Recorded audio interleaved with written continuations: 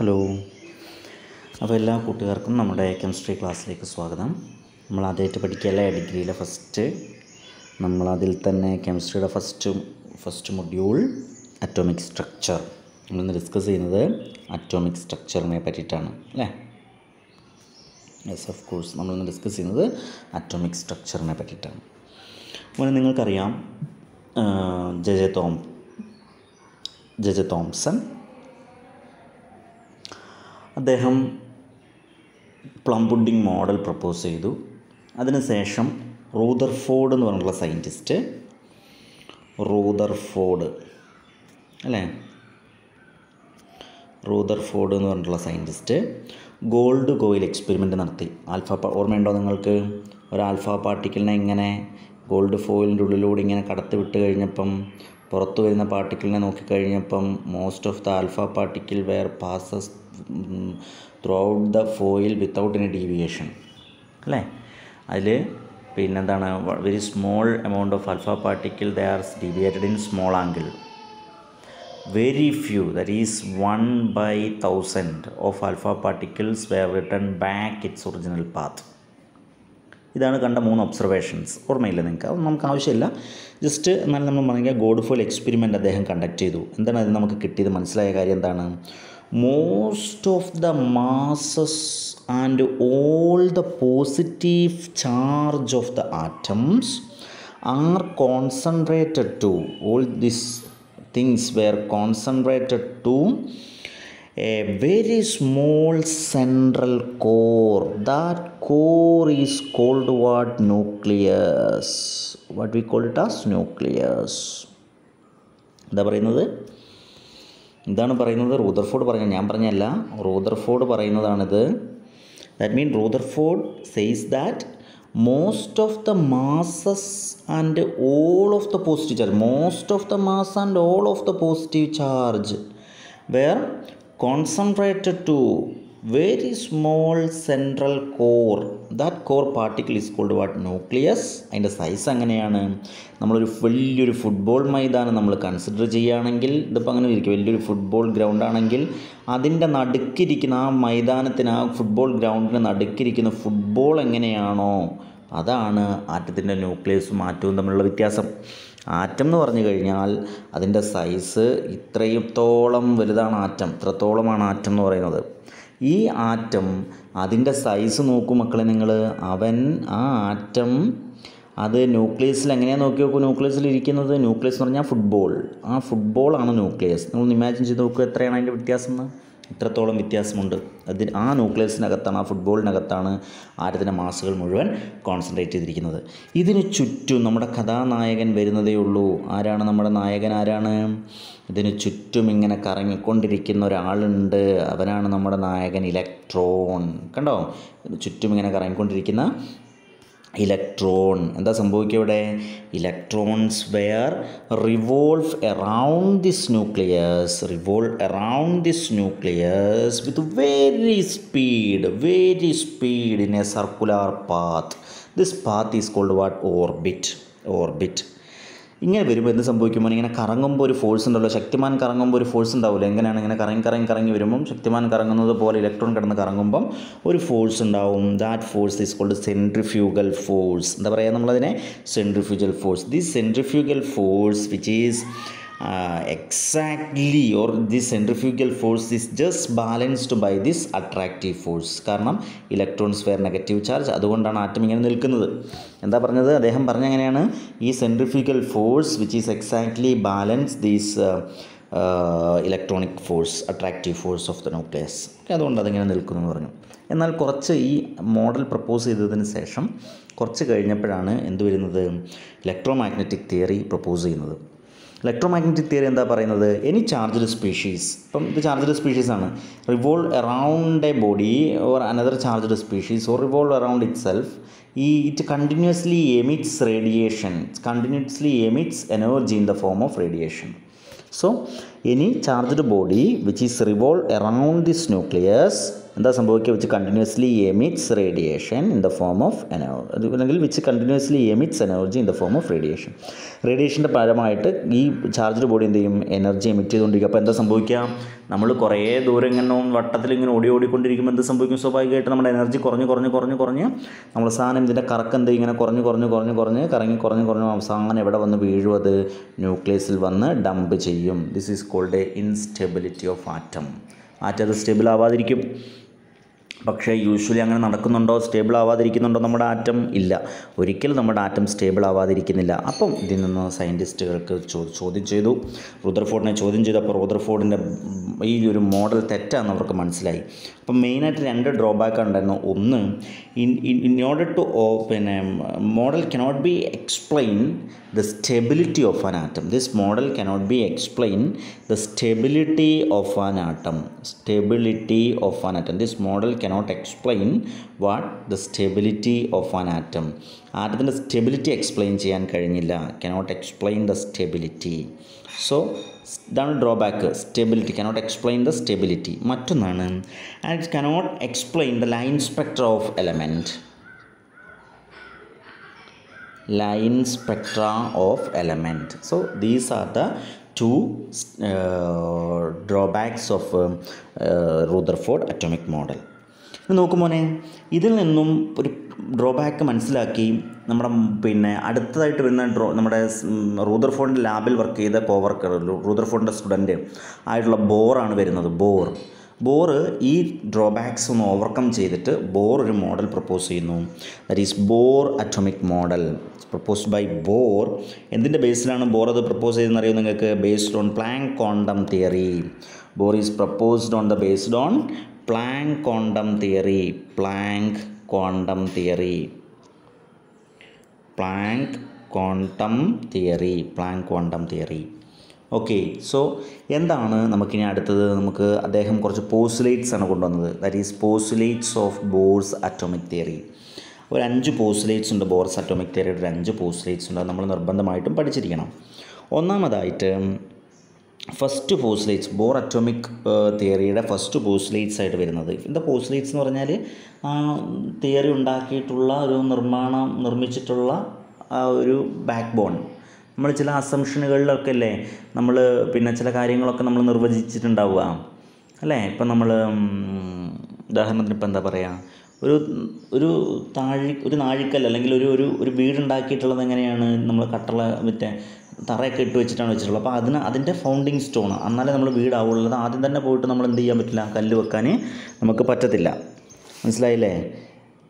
പിന്നെ ഇപ്പം എന്താ ഇപ്പോൾ പറയുന്നത് കുറച്ചുകൂടി നന്നായിട്ട് ഇപ്പോൾ എങ്ങനെയാണ് പറയാം?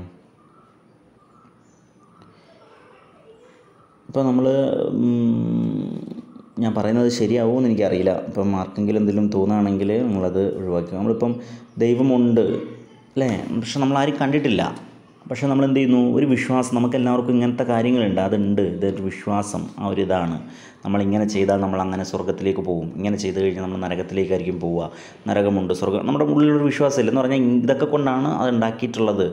അവിടെ ഇതൊക്കെ കൊണ്ടാണുള്ളത്. അപ്പോൾ അതാണ് പോസ്റ്റുലേറ്റ്സ് എന്ന് പറയുന്നത്. അസംഷൻ അല്ലെങ്കിൽ പോസ്റ്റുലേറ്റ്സ്. ഏകദേശം അസം അസംഷൻസിന്റെ ഒരേ മീനിങ് ആണ്. അപ്പോൾ അദ്ദേഹത്തിന്റെ ബോർ തിയറി പറഞ്ഞ ഇത്രയും കാര്യങ്ങളാണ്. ഒന്ന് ഫസ്റ്റ് വൺ ഇലക്ട്രോൺ എന്ത് ചെയ്യാണ്? Continuously revolves around the nucleus എങ്ങനെയാണ് ഇലക്ട്രോൺ റിവോൾവ് ചെയ്യുന്നത് Rutherford പറഞ്ഞതുപോലെയല്ല.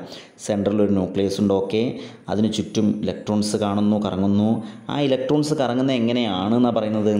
Electrons were revolve around the nucleus electrons were revolve around the nucleus with definite velocity in definite definite path it's called orbit or or state കണ്ടോ first തന്നെ പറയാണ് electrons they were revolve around the nucleus at a definite velocity in a definite circular path ഒരു sir definite circular പാത്തിലൂടെയാണ് കറങ്ങിക്കൊണ്ടിരിക്കുന്നത് എന്ന് പറയുന്നത് അത് ഒരിക്കലും ഇവിടുന്ന് പാത്ത് മാറില്ല ഇങ്ങനെ കറങ്ങിക്കൊണ്ടിരിക്കുകയാണെന്ന് പറയുകയാണ് രണ്ടാമത് പറയാണ്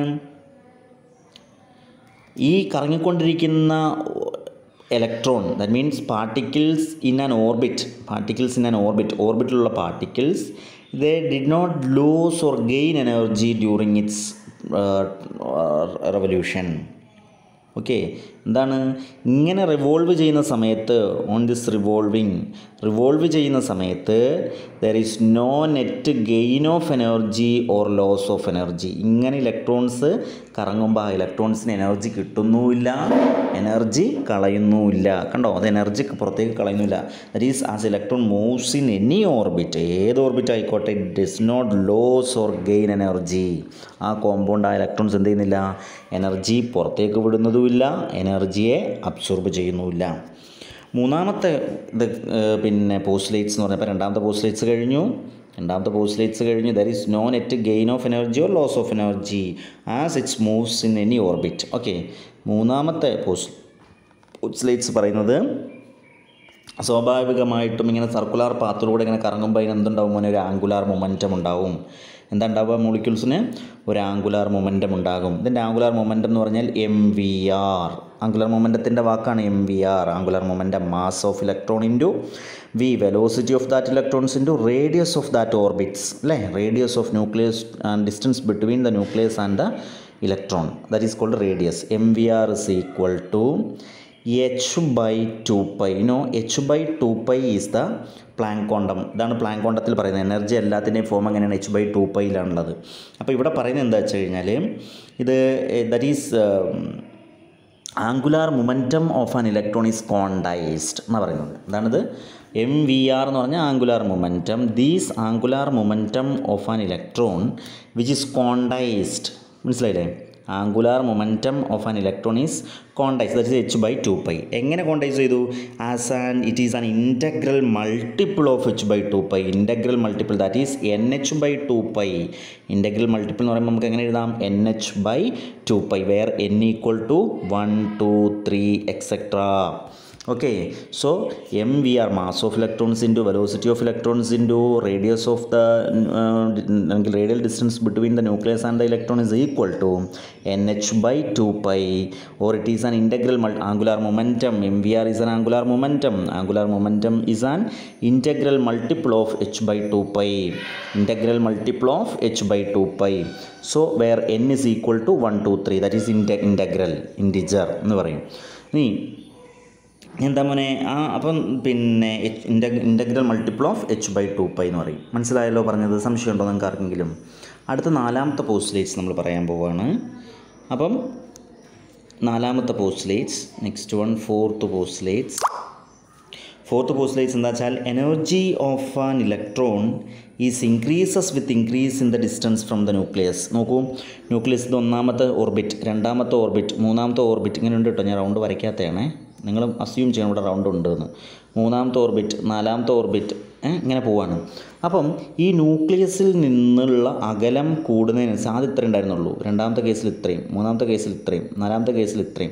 അപ്പം ന്യൂക്ലിയസിൽ നിന്നുള്ള അകലം കൂടുന്നതിനനുസരിച്ച് ഡിസ്റ്റൻസ് ഇൻക്രീസ് ചെയ്യുന്നതിനനുസരിച്ച് ഈ ന്യൂക്ലിയസ് ഇതിന്റെ ഇലക്ട്രോൺ ഇതിലുള്ള ഇലക്ട്രോണിന്റെ എനർജിയും ഇൻക്രീസ് ചെയ്യും. എന്ന് പറഞ്ഞാൽ ആദ്യമുള്ള ആളുമായിട്ടായിരിക്കും ന്യൂക്ലിയസ് കൂടുതൽ അട്രാക്റ്റ് ചെയ്യുക. എന്ന് പറഞ്ഞാൽ എന്താ സംഭവിക്കുക? ന്യൂക്ലിയസിന്റെ അട്രാക്ഷൻ വളരെ കൂടുതലായിരിക്കും. ഇവരുമായിട്ട് ആദ്യത്തെ ആളുമായിട്ട് ന്യൂക്ലിയസിന്റെ അട്രാക്ഷൻ വളരെ കൂടുതലായിരിക്കും. അപ്പം ഈ ഒരു അട്രാക്ഷൻ വളരെ കൂടുതലായിരിക്കുമ്പം ഇവന് എനർജി വളരെ കുറവായിരിക്കും. നോക്കൂ ടീച്ചർ ക്ലാസ്സിലിരിക്കുക ടീച്ചറാണ് ഉള്ളത്. ഇത് ഫസ്റ്റ് ബെഞ്ചിലെ സ്റ്റുഡന്റാണ് ടീച്ചർ എപ്പോഴും ഇവരെ ശ്രദ്ധിച്ചുകൊണ്ടിരിക്കുന്നുണ്ട് ഇവർക്ക് ഇവിടുന്ന് കളിക്കാനും ചിരിക്കാനും പറ്റുമോ? ഇല്ല അപ്പോൾ അവർക്ക് എനർജി കുറവായിരിക്കും. എന്നാൽ രണ്ടാമത്തെ ബെഞ്ചുകാർക്ക് ആദ്യത്തെ ബെഞ്ചുകാരന്റെ അത്രയും പേടിച്ചിരിക്കേണ്ട ആവശ്യമില്ല. പക്ഷേ എന്നാലും ടീച്ചറുടെ ശ്രദ്ധയുണ്ടാവും. മൂന്നാമത്തെ ബെഞ്ചുകാരനോ ആദ്യത്തെ രണ്ട് ബെഞ്ചുകാരന്റെ അത്രയും പേടിയില്ല. മനസ്സിൽ നാലാമത്തെ ബെഞ്ചുകാരൻ എന്താ ചെയ്യാം? ആ നാലാമതിരിക്കുന്ന ആൾ ടീച്ചർ അങ്ങോട്ടോ ഇങ്ങോട്ടോ തിരിയുന്ന തക്കത്തിന് നോക്കിയിട്ട് എന്ത് ചെയ്യും? അവിടെ കിടന്ന് ഇന്നലത്തെ സിനിമാ കഥയും സീരിയൽ കഥയൊക്കെ പറഞ്ഞിങ്ങനെ കുത്തിയിരിക്കും പൂജ്യം വിട്ട് കളിച്ചൊക്കെ ഇരിക്കും അല്ലേ? സോ എനർജി അവർക്ക് വളരെ കൂടുതലായിരിക്കും. അപ്പം as increases with that energy of an electron is increases with increase in the distance from the nucleus okay final postulates last postulates ഇതിന്റെ ഒരു ബോർ ഓട്ടോമിക് ഓർബിറ്റിലെ ലാസ്റ്റ് പോസ്റ്റ്ലേറ്റ് ഇപ്പോൾ ഇവിടെയുള്ള ഇലക്ട്രോൺ നോക്കുമ്പോൾ ഒന്ന് ശ്രദ്ധിച്ചേക്കണേ അത്. ഇവിടെയാണ് അടുത്ത ഇലക്ട്രോൺ ഉള്ളത്. അപ്പോൾ ഇവിടെ നമ്മളൊരു എനർ amount of certain amount of energy നമ്മൾ ഇവിടേക്ക് കൊടുത്തു കഴിഞ്ഞാൽ ദീസ് ഇലക്ട്രോൺ നമ്മൾ പുറത്തുനിന്ന് ഒരു എനർജി നമ്മൾ ഈ ഇലക്ട്രോൺ കൊടുത്തു കഴിഞ്ഞാൽ these electrons can have transmits from lower energy level to higher energy level കണ്ടോ? ഈ ഒരു ഇലക്ട്രോണിന് നമ്മൾ എനർജി കൊടുക്കുകയാണെങ്കിൽ ഒന്ന് നമ്മൾ എനർജി കൊണ്ട് നമ്മൾ റേഡിയേഷനെ കൊണ്ട് നമ്മളൊന്ന് ഇടിപ്പിക്കുകയാണെങ്കിൽ by bombarding with this radiation radiant energy the electrons absorbs that much of energy and will get excited to higher energy level. Okay ഈ മോളിക്യൂൾ എന്ത് ചെയ്യും? It will absorb this energy and then it will get absorb this energy and then it will excited to higher energy state മനസ്സിലായോ പറഞ്ഞത്? Higher energy സ്റ്റേറ്റിലേക്ക് പോകും ഇതേപോലെ തന്നെ same higher energy ലെവലിലിരിക്കുന്ന ഒരു ഇലക്ട്രോണിന് ഹയർ എനർജി ലെവലിലിരിക്കുന്ന ഒരു ഇലക്ട്രോണിന് എന്ത് ചെയ്യാം? ലോവർ എനർജി സ്റ്റേറ്റിലേക്ക് അത് വരും. എപ്പം? By losing some amount of or certain amount of energy by losing certain amount of energy മനസ്സിലായി പറഞ്ഞത്? So this is the another postulates of or this is the another postulates of what the Bohr atomic orbital അപ്പം നമുക്ക് ഇവിടെ നിന്ന് നമുക്ക് എഴുതാൻ വേണ്ടി പറ്റും. നമുക്ക് എന്താ എഴുതാൻ പറ്റുമെന്ന് നോക്കുമോനെ നമുക്കിതിനകത്ത് എഴുതാൻ കാണും. ഈ എനർജി എന്ന് പറഞ്ഞു കഴിഞ്ഞാൽ ഇ ഈസ് ഈക്വൽ ടു എന്താ വരിക? H mu E is equal to H mu H mu എന്ന് പറഞ്ഞാൽ ഇതാണ് പ്ലാൻ കോണ്ട പ്രിൻസിപ്പിൾ എനർജി കേട്ടോ എനർജി എന്ന് പറഞ്ഞു കഴിഞ്ഞാൽ എച്ച് മ്യൂ നിങ്ങൾ അറിയാം പ്ലസ് ടു. അതുകൊണ്ടാണ് നമ്മൾ ഇത്ര ഇതായിട്ട് പറയുക E is equal to H mu where mu is equal to so the transitional frequency നോക്കൂ ഇവിടെ നിന്ന് ഇങ്ങോട്ടേക്ക് ട്രാൻസിഷൻ നടത്തുമെന്ന് പറഞ്ഞില്ലേ? Lower energy to higher energy or higher energy to lower energy what or may be lower എനർജിയിൽ നിന്ന് higher എനർജിയിലേക്കാണെങ്കിലും higher എനർജിയിൽ നിന്ന് ലോവർ എനർജിയിലേക്ക് വരികയാണെങ്കിലും ആ ട്രാൻസിഷൻ ആ എത്ര ഫ്രീക്വൻസി ഉള്ള ലൈറ്റാണ് കൊടുക്കേണ്ടത് എന്നുള്ളതിന്റെ ആ ട്രാൻസിഷൻ ഫ്രീക്വൻസിയാണ് നമ്മൾ പറയുന്നത്. Transition frequency where mu is equal to എന്തെന്ന് വരും? Where mu is equal to E by H E എന്ന് പറഞ്ഞു കഴിഞ്ഞാൽ delta E by H it's become E two minus E one by H so this equation is known as Bohr frequency rule this equation is known as what Bohr frequency rule ഇതിനെ നമ്മൾ ball bore frequency rule എന്നാണ് നമ്മൾ പറയാം. മാത്രമല്ല ഇവിടെ നമുക്ക് കാണാൻ പറ്റുന്ന ഒരു കാര്യം മക്കളെ നിങ്ങൾ നോക്കിയാൽ നിങ്ങൾക്ക് മനസ്സിലാവും. കാരണം പിന്നെ ഇവിടെ നോക്കൂ ഫസ്റ്റ് ഓർബിറ്റ് ഫസ്റ്റ് ഓർബിറ്റ് ഇവിടെ കണ്ടോ നിങ്ങൾ? First orbit second orbit third orbit fourth orbit ഇങ്ങനെ നമുക്ക് കാണാം. സോ ഫസ്റ്റത്തേന് നമ്മൾ N equal to one first shell N equal to two രണ്ടാമത്തെ shell N equal to three മൂന്നാമത്തെ shell N equal to four നാലാമത്തെ ഷെൽ സോ ഇങ്ങനെ നമുക്ക് നമുക്ക് എഴുതാൻ വേണ്ടി പറ്റും. അപ്പോൾ ഇതിനെ നമ്മൾക്ക് എന്ത് പറയാം? K shell one correspond to K shell L shell M shell N shell etcetera എന്ന് നമുക്ക് എന്ത് ചെയ്യാം ഇതിനെ പറയാനായിട്ട് നമുക്ക് പറ്റും. കാരണം ഇത് നമ്മൾ ചെറിയ ക്ലാസ് മുതലേ നമ്മൾ പഠിക്കുന്ന ഒരു സാധനമാണല്ലോ അല്ലേ? അതുകൊണ്ട് നമുക്കത് അങ്ങനെ നമുക്ക് എന്ത് ചെയ്യാൻ പറ്റും? ഈ പറഞ്ഞ സാധനത്തിനെ നമുക്ക് അങ്ങനെ നമുക്ക് നിർവചിക്കാനായിട്ട് പറ്റും. So next we are discussing the line spectra of hydrogen നമ്മൾ പറഞ്ഞു ബോർ മോഡലിന് അതിന്റെ ലൈൻ സ്പെക്ട്ര എക്സ്പ്ലെയിൻ ചെയ്യാൻ വേണ്ടി കഴിഞ്ഞില്ല എന്ന് പറഞ്ഞു. അപ്പം ഇനി ഇവിടെ നമ്മൾ പഠിക്കുന്നത് ഇവന് പക്ഷേ എന്ത് ചെയ്യാൻ പറ്റുമോ ഇതിന്റെ ലൈൻ ഇൻസ്പെക്ടർ ഇവൻ എക്സ്പ്ലെയിൻ ചെയ്യാൻ വേണ്ടിയിട്ട് പറ്റിയിട്ടുണ്ട്. ആർക്ക് നമ്മുടെ ബോറിന് എക്സ്പ്ലെയിൻ ചെയ്യാൻ പറ്റിയിട്ടുണ്ട്. അപ്പോൾ എന്താണ് line spectra so what is mean by line spectra അതാണ് നമുക്ക് ഇനി അടുത്ത് നോക്കേണ്ടത്. What is mean by line spectra line spectra നമുക്ക് നോക്കി നോക്കാം. എന്താണ് അതിന്റെ ലൈൻ സ്പെക്ട്ര നമുക്ക് നോക്കി നോക്കാം. അപ്പം ഒരു സോളിഡ് മാസ് ഒരു സോളിഡ് അതിനെ നമ്മൾ കത്തിക്കുക ഒന്ന് ചൂടാക്കുക ഹീറ്റ് കൊടുക്കുക. ഒന്ന് ചൂടാക്കി കഴിയുമ്പം എന്ത് ചെയ്യുക? ഈ കുറച്ചുകൂടി കഴിയുമ്പം ഇതെന്ത് ചെയ്യുക? എന്തെങ്കിലും ഒരു പിന്നെ ചാർജ് ഒരു ലൈറ്റ് എമിറ്റ് ചെയ്യുന്നതിനാണ് നമ്മൾ എന്ത് വിളിക്കുന്നത്? റേഡിയേ ലൈറ്റ് എമിറ്റ് ചെയ്യുക. എന്തെങ്കിലും ഒരു സാധനം എമിറ്റ് ചെയ്യുക. Okay that is called what spectrum എന്താണ്? ഒന്നും കൂടി ഒന്നും കൂടി. ഒരു വട്ടം കൂടി പറഞ്ഞുതരാം. ഒരു സോളിഡ് മെറ്റീരിയൽ ഏതെങ്കിലും ഒരു സോളിഡ് മെറ്റീരിയൽ നമ്മൾ കൺസിഡർ ചെയ്യുക. അതിനെ നമ്മൾ ഹീറ്റ് ചെയ്യുക. അല്ലെങ്കിൽ നമ്മൾ എന്ത് ചെയ്യുക? ഇലക്ട്രിസിറ്റി പാസ് ചെയ്ത് കൊടുക്കുക. അല്ലെങ്കിൽ ഹീറ്റ് ചെയ്യുക. അല്ലെങ്കിൽ ഇതിലേക്ക് ഇലക്ട്രിസിറ്റി പാസ് ചെയ്ത് കൊടുക്കുക. ഇലക്ട്രിസിറ്റി പാസ് ചെയ്ത് കൊടുക്കുക. ഫോസ്റ്റിനായിട്ട് ഇലക്ട്രിസിറ്റി പാസ് ചെയ്ത് കൊടുക്കുമ്പം ത്രൂ എ ഗ്യാഷ്യസ് എലമെന്റ് ഇതിന്റെ ഉള്ളിൽ നമ്മൾ ഏതെങ്കിലും ഒരു ഗ്യാഷ്യസ് എലമെന്റ് ഫില്ല് ചെയ്ത് വെക്കണം. ഏതെങ്കിലും ഒരു കാർബൺ ഡൈ ഓക്സൈഡോ ഓക്സിജനോ നൈട്രജനോ കോമൺ ആയിട്ട് നമുക്ക് കാണാൻ പറ്റുന്ന എനിക്ക് തോന്നുന്നത് നൈട്രജൻ ആയിരിക്കുന്നു അല്ലേ? നമ്മൾ ഏതെങ്കിലും ഒരു ഗ്യാഷ്യസ് എലമെന്റ് ഫില്ല് ചെയ്യുക. അപ്പം എന്താ ചെയ്തത്? Solid element is heated or when electricity is passed through this gaseous element at low pressure in a discharge tube there occurs an emission of light okay. When this light is resolved using a spectrometer or spectroscope ഒരു സ്പെക്ട്രോസ്കോപ്പിൽ ഈ ലൈറ്റിനെ നമ്മൾ എന്തിനെ എന്തിലൂടെ കടത്തിവിടുക?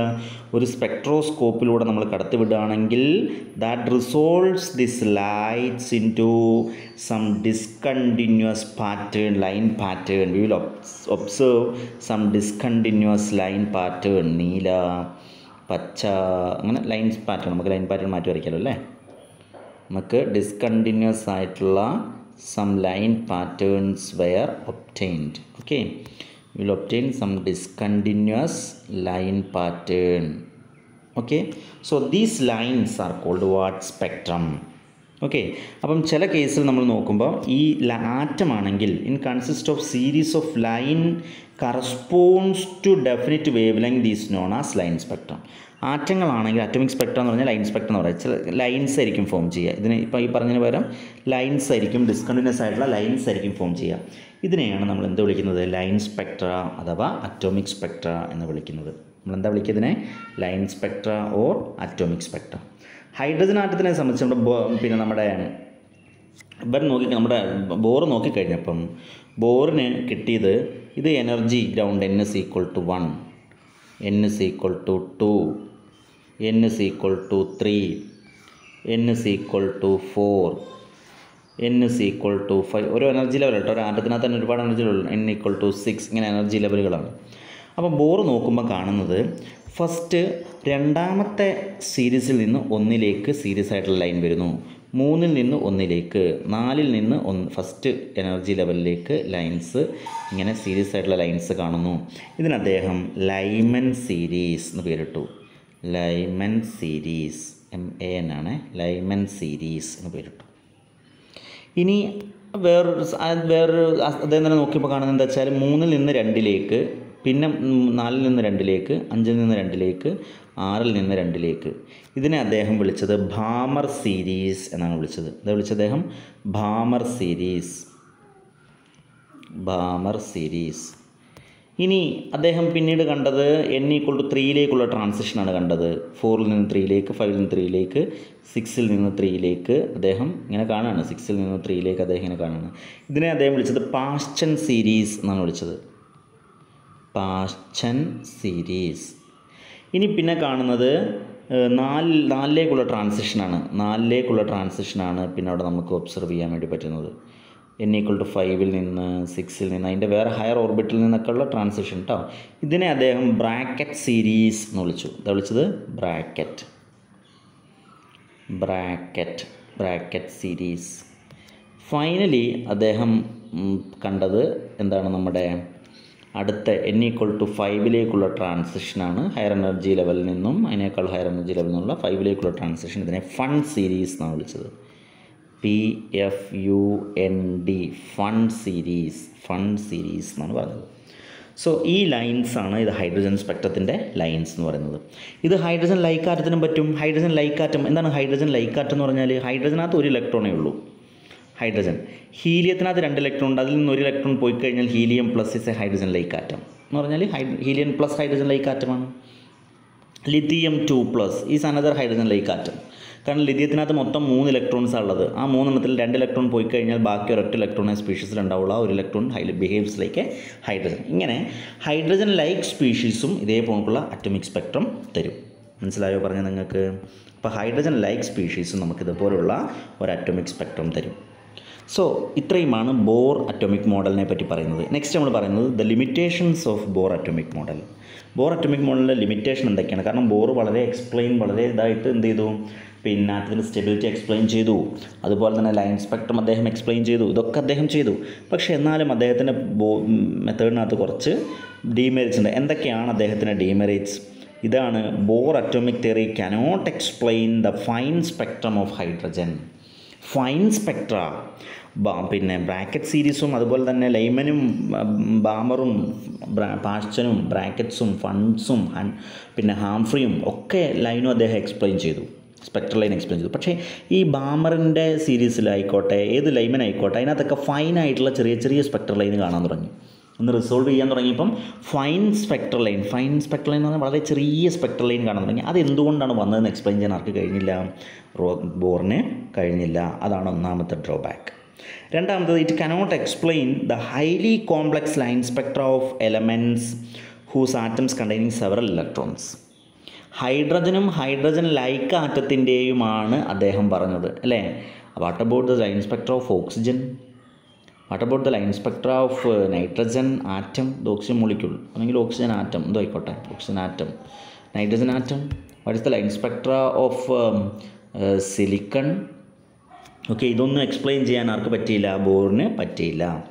മൂന്നാമത് it explain it cannot explain the detailed bond formations between atoms and shape of molecule ആറ്റത്തിന്റെ bond bond form ചെയ്യുന്നത് എങ്ങനെയൊക്കെയാണ് bond form ചെയ്താണ് compound ഉണ്ടാകുന്നതെന്നും molecule ഉണ്ടാകുന്നതെന്നും ആ മോളിക്യൂളിന്റെ ഷേപ്പ് എന്താണെന്നൊന്നും എക്സ്പ്ലെയിൻ ചെയ്യാൻ ആരെ കൊണ്ട് സാധിച്ചില്ല.